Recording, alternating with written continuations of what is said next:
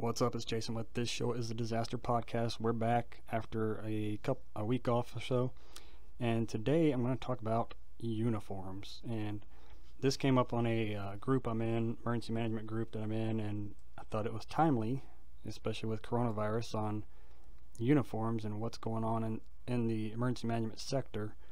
Uh, the question was, how many of you emergency management directors wear a uniform? If it's a polo, or do you have a badge or BDUs? And what is your entity. So, and I'm former military, so I'm used to uniforms and I like uniforms. And I will say I'm an advocate for uniforms, but if you look at why you have to wear a uniform, you know, what is the function of it? You know, why do we, why would we as emergency preparedness staff members have to wear a uniform? Obviously, if you're listening to this and you're a police fire, you're going to wear a uniform, right? Um, you know, what do we need to accomplish with that uniform? Uh, I know here in Texas, a lot of the emergency managers that are state driven, they wear uh, uh, tan tactical pants with a black shirt, usually a polo or a um, kind of like a tactical 511 type shirt, type shirt.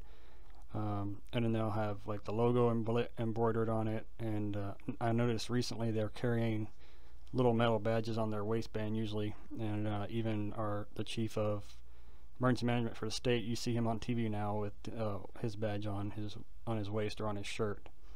Um, you know, so what is the function of that? And that's to identify people, right? Especially if you're going out into the field. Now, if you're a office warrior and you're just in your office all the time, you're not going to go in the field. You may not need a uniform.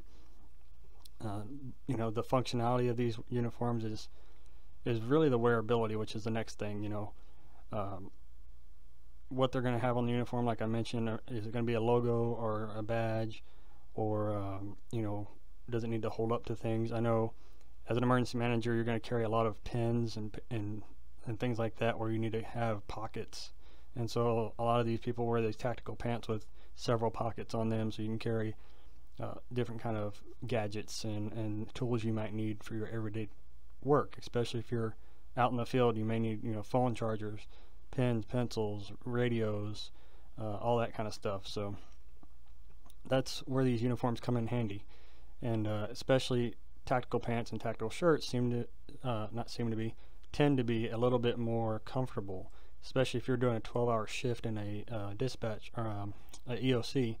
You want to be comfortable.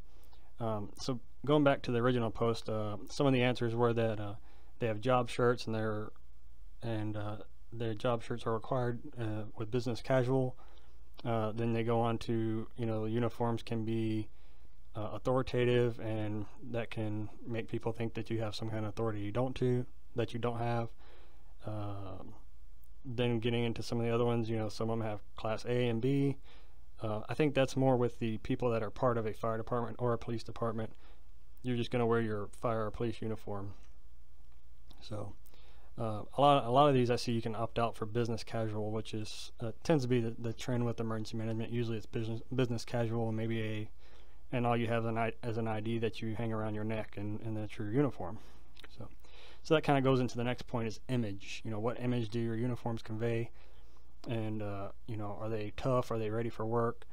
Uh, are they military style? Uh, you know, you want to make sure that that's the message you're conveying. So it's going to depend on your organization if you work for a university and you're emergency management for a university, you're probably going to wear business casual with a lanyard around your neck and an ID badge. And once again, if you're part of a police or fire department, you're probably going to wear whatever the uniform is they wear. And then if you're in a city, it could be uh, any any of those above. And then county, usually you're going to have uh, some kind of tactical type looking uniform uh, that that I mentioned earlier.